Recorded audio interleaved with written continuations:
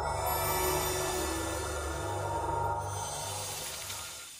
Welcome to A-Level and AP Physics. In today's lesson, we will discuss one very important past paper question on photoelectric effect from May June 2022 paper 4 variant 1. In this question, we will discuss some very important points about quantum physics and photoelectric effect. And those concepts are most frequently asked in past papers. And also those concepts are the core concepts in this chapter. Let's study together. Let's improve together. For question number 7, part A, we need to state what is meant by a photon. And this question is most frequently asked question in past papers. So you need to understand how to state what is meant by a photon. A photon is a simply a packet of energy of electromagnetic radiation. Or simply you can say quantum of energy of electromagnetic radiations. So let me show you the answer, how you can write down your answer. This is how you can write down your answer. If you have mention quantum of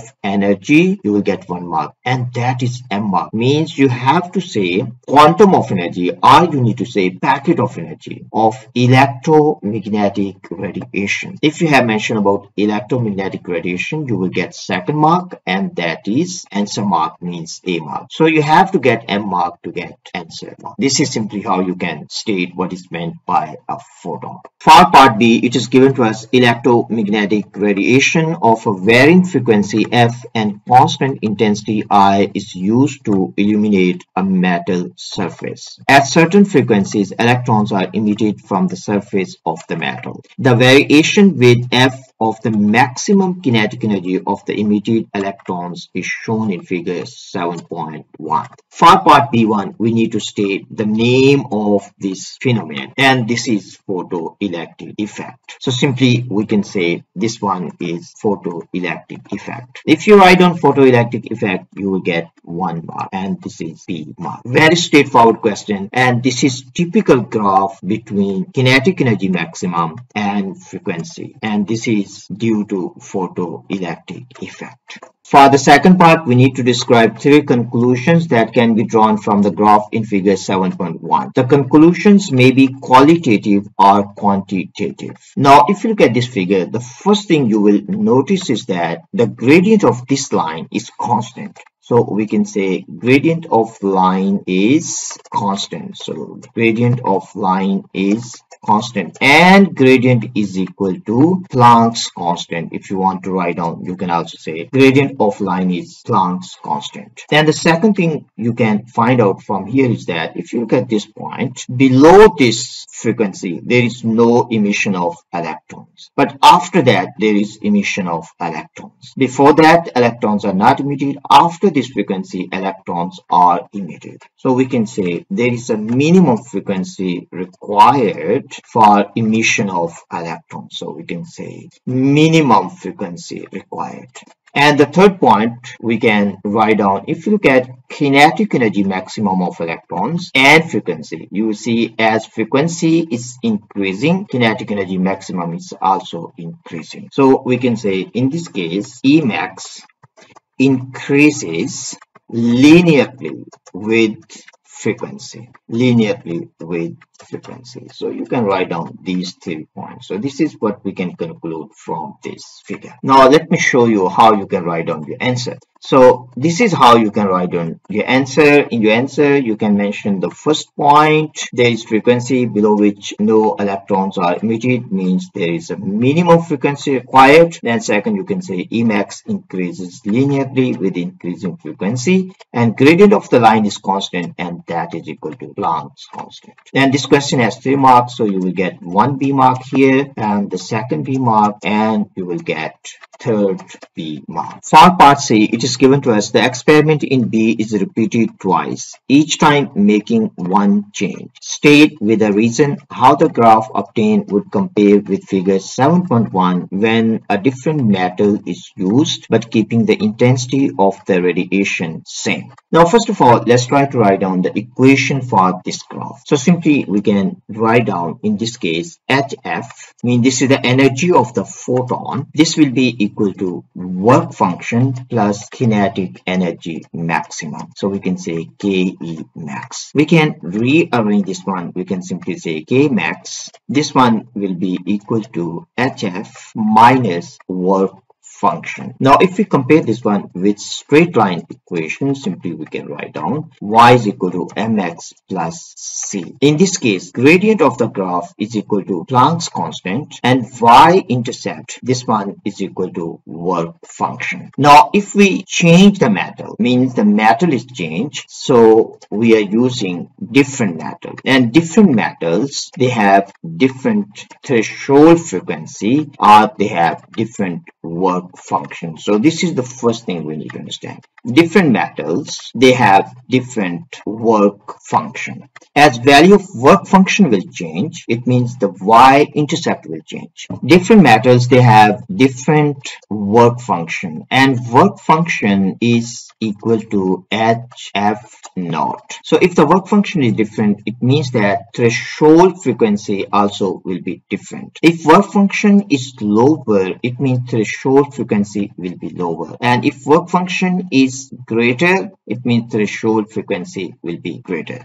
And if work function is different, y-intercept will be different. So simply we can understand this one with the help of this graph. So we can extend this axis. So this is the threshold frequency for given metal. Now, if we extend this line, we can also find out value of work function. So this is value of work function. Now, let me show you this one for a metal that has lower work function. So we can draw the line here. So this metal has lower work function. You can see these two lines, they have the same gradient because gradient is equal to Planck's constant, but their y-intercept is different because they have different value of work function function and the threshold frequency is also different. We can also draw another line for a metal that has higher work function. So it also has higher threshold frequency. So this is the threshold frequency. This one is the threshold frequency. So these two points we need to understand. So let me show you how you can write down your answer.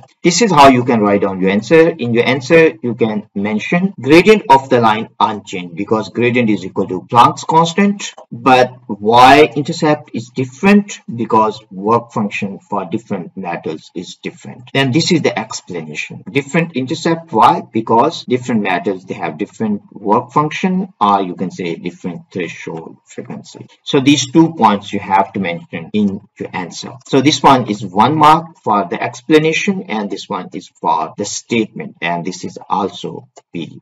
For the second part, it is given to us when the same metal is used but with electromagnetic radiation of intensity 2i. In this case, intensity simply means that number of photons have been increased. So we can down here, intensity here simply means that number of photons have been doubled. So we can say number of photons have been increased. So intensity here simply means that number of photons have been increased. So the number of photons reaching the metal, they have been double now two times greater than before. So intensity increase it simply means that number of photons have been increased. As number of photons increase but it is given to you that same electromagnetic radiation they also have to mention here same electromagnetic radiation but with double intensity but they haven't mentioned this one same it simply means that electromagnetic radiation is the same so we can say in this case frequency of radiation does not change. So the energy of single photon will not change because F is the same. So energy of single photon is also the same. So if energy of each photon is the same and metal is the same, we can simply write down in this case E max means the kinetic energy maximum. This is equal to HF minus work